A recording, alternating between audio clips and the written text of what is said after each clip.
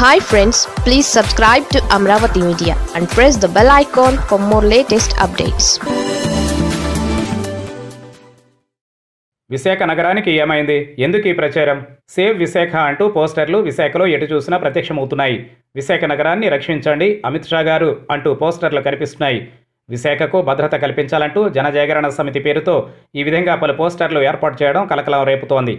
విశాఖకు ఏమైంది? ఇంతలో ఏమొచ్చింది? అన్న దాని మీద అంతా తర్కించుకుంటున్నారు.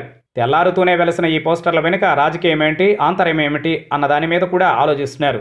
విశాఖ ప్రశాంత నగరంగానే ఉంది. అయితే గత కొద్ది రోజులుగా రాజకీయ పార్టీలు నాయకులు ఇస్తున్న ప్రకటనలతో విశాఖలో నివసిస్తున్న సగటు జనాలు అవునా విశాఖలో భద్రత లేదా అని అనుకోవాల్సి వస్తోంది. పాతిక ముప్పై లక్షల జనాభాతో విశాఖ అనునిత్యం తన పనిలో తాను బిజీగా ఉంటుంది. ఈ స్మార్ట్ సిటీ ఎందరికో ఉపాధిని ఇస్తోంది. సాగరం తీరం ఆనందాన్ని ఇస్తోంది. ఇక్కడ వలస వచ్చిన రాజకీయ జీవులకు పదవులు ఇస్తోంది. విశాఖ అంటే కూల్ అండ్ సేఫ్ అన్నది ఏనాడో స్థిరపడిపోయిన అభిప్రాయం.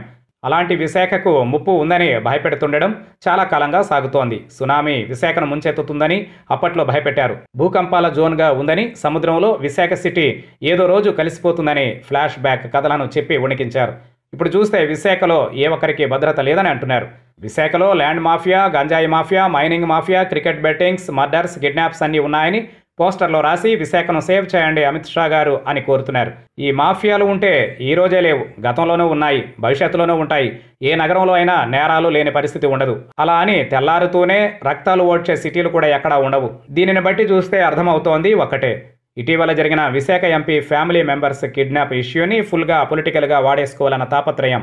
అంతే అంతకంటే మరేమీ ఇందులో కనబడదు. విశాఖ భద్రంగా లేకపోతే ఈ రోజుకి ఇంతమంది పేదలు ఆరు బయట గుండెల మీద చేయ వేసుకుని ఆదమరిచి నిద్రించే పరిస్థితి ఉండదు. అర్ధరాత్రి అపరాత్రి చూడకుండా ఉద్యోగాలు చేసుకుంటూ ఎవరిళ్ళకు వారు వెళ్ళడం అంతకంటే జరగదు. కానీ భయపెట్టేస్తున్నారు. విశాఖను బదనాం చేసేటంతగా భయపెడుతున్నారు.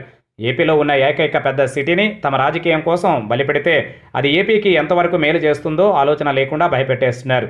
రాజకీయమే అన్నింటికీ పరమావధి అయిన వేళ ఇలాంటివే జరుగుతాయి. లక్షల జనాభా ఉన్న విశాఖలో జనాలు వీటిని ఎప్పుడూ పట్టించుకోరు. విశాఖను రక్షించాలి అంటూ పోస్టర్లు వేయడమే పెద్ద తమాషా. ఏ నగరాన్ని ఎవరు రక్షిస్తారు? కదిలే నదీ ప్రవాహం లాంటి ప్రజలను ఎవరో అదిలిస్తారు?